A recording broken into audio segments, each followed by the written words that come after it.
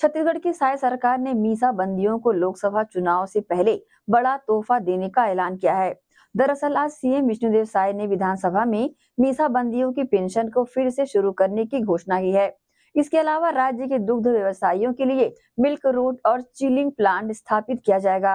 हाँ एक तो इमरजेंसी के समय जितने जो गैर कांग्रेसी लीडर थे, सब को जेल हो गया था उन्नीस उन्नीस महीना तक जेल में रहे, जिसके कारण उनका परिवार बर्बाद हो गया।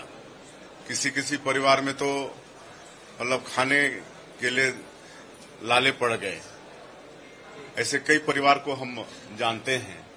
और जब हम लोग की सरकार थी, भारतीय जनता पार्टी की छत्तीसगढ़ में तो उनको एक सम्मान निधि मतलब देने का प्रारंभ किए थे, जो पिछली सरकार में बंद हो गई थी वो राशि उसको फिर से अब उनको देंगे चालू करेंगे।